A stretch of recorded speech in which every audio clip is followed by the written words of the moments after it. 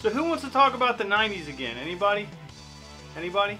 I enjoyed making my forgotten stuff of the 90s segment so much that I've come up with another topic that I'm excited to share with you guys. So sit back, relax, it's time to dive in and discuss the forgotten cartoons and children's programs of the 90s.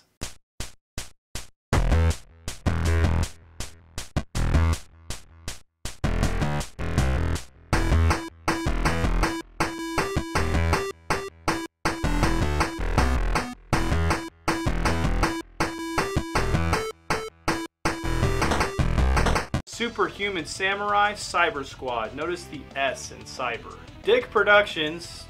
That can't be right. Like, is it an acronym? Geek. Anyway, apparently this company loved alliteration and the sound of the letter R so much that they settled on a title that would give any child taking speech therapy classes PTSD because they couldn't properly pronounce the name of their favorite fucking show. Superhuman Samurai Syber Squad. No, try again. Sorry, got a little cathartic back there. I don't know what was going on in the 90s, but for some reason we were stealing a lot of shit from Japan. As a kid, I had no idea that US production companies were taking these live action television shows from Japan and rebranding them. I always wondered why some scenes from Power Rangers looked like they were filmed using some busted ass cameras stolen from an old Godzilla set. And why the hell did Tommy's chest emblem look different when he had his helmet off? Like WTF America, we couldn't provide novice cosplay materials for our cast? Also, Rita's mouth never matched what the hell she was actually saying. yes, I like it. Anyway, the show I was supposed to be talking about this entire time was dope. It was basically Power Rangers, but in virtual reality. Speaking of VR Troopers, you forgot about them because they made shitty Power Rangers, and there were only three of them. Good things don't come in threes. You got to round it up to at least four to capture my attention. Or go down to two because Reese's Peanut Butter Cups come in even numbers.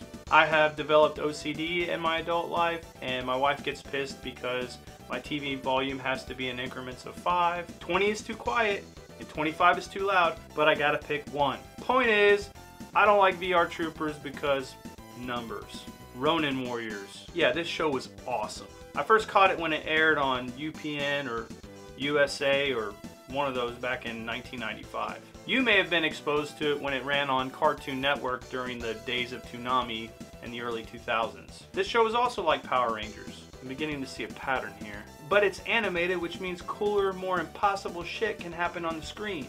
And they didn't have to rely on silly camera angles and a fire extinguisher at someone's feet to make it look like they turned into a giant freaking crab. What do you think of me now? And remember what I said about increments of five? Yeah, they nailed it with this one. Wait, two of them are blue? Two different shades of blue? You can't do that. They're supposed to be entirely different colors to better reflect their individuality. Ah, I hate this fucking show. Gargoyles. Holy crap. A Disney cartoon where monsters murder people?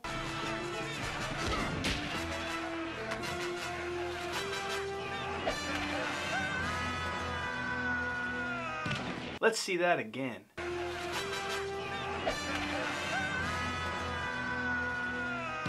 I'm pretty sure that dude didn't fall onto a mattress on the other side of that castle wall. He did. Did y'all know that Keith David voiced the main character Goliath? I'll turn you inside out ass first. And he also voiced Spawn I'm waiting for your sorry ass in the afterlife. and the Arbiter I fucking hate clowns. and the President. You lying dick! God damn, that man is the goat. Biker mice from Mars. I'm not really concerned with how anthropomorphic mice learn to ride motorcycles. I'm more concerned that the creative writing team doesn't know how evolutionary biology works. Like, the title doesn't make sense, even without the biker part. I'm too smart for these people. Hey dude. I'm not actually sure why I even liked this show. I remember wishing I was older when my 8-year-old self watched it, but I couldn't really tell you why. Oh wait. Yeah, I had the hots for Melody. Yep, I wanted to fast track puberty to be with a girl I fell in love with through a television screen. I didn't really think that through. Actually, you know, I remember a non-creepy reason why I like this show. It had a kick-ass theme song.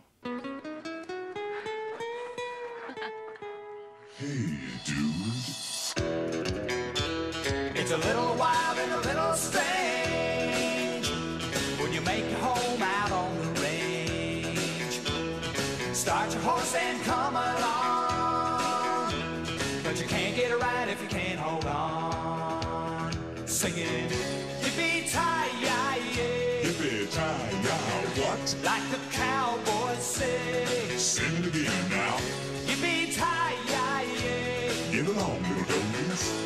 the break of day. Better watch out for those man-eating jackrabbits and that killer cacti.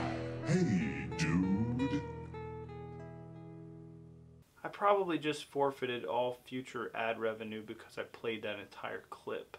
Damn. Skeleton Warriors. You ever see a new product on the shelf and you're like, hey, I've seen that somewhere before, but it's impossible because it's a new thing? That's your brain telling you you're looking at some stolen shit. Exhibit A, the main baddie from Skeleton Warriors. Exhibit B, the main baddie from Army of Darkness. I can't tell you a whole lot about this cartoon except that the skeleton people are bad and the humans are good. I only watched it for a few episodes because I purchased some of the action figures and I needed a plot to work with. Apparently, the storyline of the cartoon was crap because I flipped the script and made the skeleton toys the good guys and the humans evil fascist assholes. Doesn't that sound a lot more interesting? I thought so. The New Adventures of He-Man. The days of consuming copious amounts of creatine and injecting oneself with elephant growth hormones had come to a close, at least in the minds of executives at Mattel. They made He-Man starve himself of steroids, gave him a lightsaber, and kicked his ass out to space. Was it a good idea? Meh. Apparently I liked the show enough as a kid to beg my dad to purchase the Space Helmet He-Man and Cybernetic Skeletor. I don't think they were actually called that. I just referred to them that way to differentiate them from their more mystical, muscled out ancestors. I totally dug the sword, but too many kids in the 90s were infatuated with that bulky bodybuilding image of the 80s. Ultimately, children abandoned the show and decided to watch more wholesome programming like Major League Baseball, which was totally free of steroids, said no one ever. Pirates of Dark Water. You know it was all the rage in the 90s? Cleaning up the environment. The EPA even put messages on the screens of your favorite arcade games to remind you to clean up your act. And Captain Planet and Toxic Crusaders and other children's programs were actively seeking to recruit young children to become little soldiers for planet Earth. It sort of worked, sort of. I definitely think my generation is a little bit more conscious of the environment than that of my parents. Anyway, in the same manner that some cartoons tried to make kids more aware of the hazards of pollution, Pirates of Dark Water attempted to show children that nature could succumb to malicious forces. But the show was on another planet. You can't ask me to give a damn about your fictitious shit when we got our own planetary problems. I'm sorry, but I don't care about dark water on your planet. I care about clean water on mine. Nice try. Extreme dinosaurs. What? I don't know what else to say. I never watched the shit. I just know y'all forgot about it because I didn't even know it existed. That's all from me, guys. Thank you so much for watching. If you enjoyed this content and you believe your peers will too, please share this video. I'm not going to ask you to hit the like button. Just please don't hit the dislike button. In reality, though, you can totally hit the like button. I'm cool with that. I'm also cool with you hitting the subscribe button and turning on notifications. Yeah?